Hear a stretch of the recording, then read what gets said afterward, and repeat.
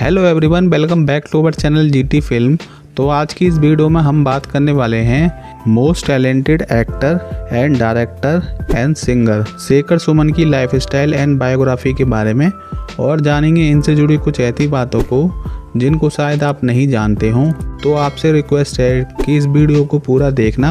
अगर वीडियो पसंद आए तो वीडियो को लाइक एंड शेयर करना। अगर आप शेखर सुमन के फ़ैन हो तो इस वीडियो को लाइक ज़रूर करना।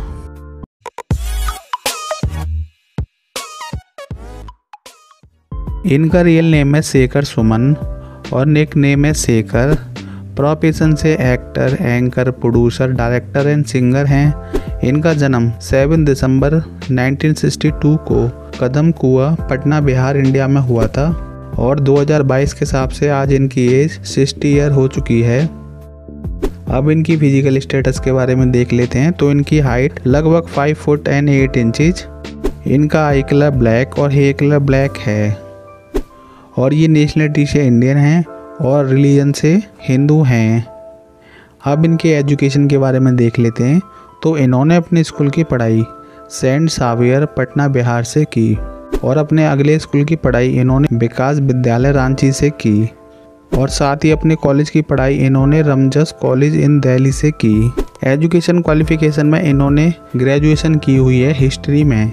अब इनके कैरियर के बारे में देख लेते हैं। तो शेखर ने अपने कैरियर की शुरुआत मूवी उस सबसे की थी जो 1984 में आई है, जिसमें इनके अपोजिट हैं रेखा, और इन्होंने लगभग 35 से ज़्यादा मूवियों में काम किया है, जिनमें से कुछ नाम हैं, मानव हत्या, नचे मयूरी, संसार, अनुभव, त्रिदेव, पति परमेश्वर एंड रणभूमि।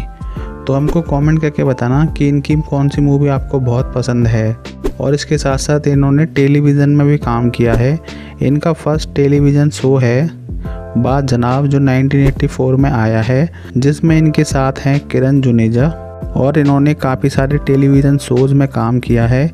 इन शोजों के नाम हैं, देख भाई देख, रिपोर्टर, कभी अंदर कभी बाहर, कभी इधर कभी उधर, छोटे बाबू, अंदाज, अमर प्रेम मूव्स एंड शेखर। और इसके साथ साथ इन्होंने होस्ट भी किया है। इन्होंने first time as a host debut किया है the great Indian comedy show से। और ये काफ़ी सारे कॉमेडी शो को जज करते हैं। इन्होंने फ़र्स्ट टाइम एज अ जज डेब्यू किया था the great Indian laughter challenge से, जिसमें इनके साथ थे नवजोत सिंह सिद्धू और हालाँकि इन्होंने तीन सीज़न में ही काम किया था। बाद में इन्होंने उस शो को छोड़ दिया था और उसके बाद इन्होंने काफ़ी कॉमेडी शोज़ में एज अ होस्ट एंड जज काम किया है, जिनके नाम हैं कॉमेडी सर्कस कॉमेडी सुपरस्टार झलक दिखला जा और अब ये सोनी टीवी के show India's laughter challenge champion को भी जज कर रहे हैं। और इसके साथ साथ ये एक बेहतरीन सिंगर भी हैं। एज अ सिंगर डेब्यू किया था इन्होंने एल्बम कुछ ख्वाब ऐसे।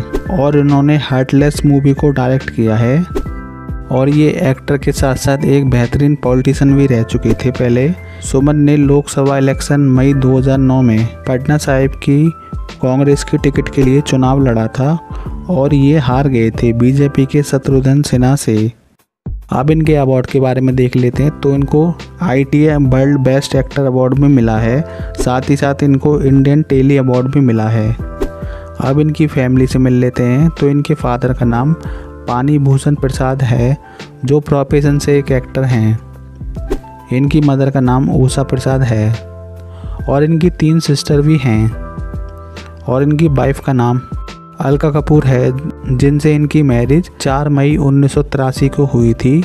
इनके बेटे का नाम आद्यान सुमन है, जो प्रोफेशन से एक्टर हैं, और इनके सेकंड बेटे का नाम था लेट आयुष सुमन, जिनकी 11 साल की उम्र में डेथ हो गई थी।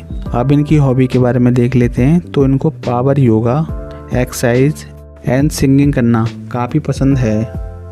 अब इनकी फेवरेट थिंग्स देख लेते हैं। तो इनके फेवरेट फ़ूड है mushroom and pizza favourite actor हैं Amitabh Bachchan and Dilip Kumar. Favourite destination है यूनाइटेड किंगडम अब इनके हाउस के बारे में देख लेते हैं कि ये रहते कहाँ पर हैं।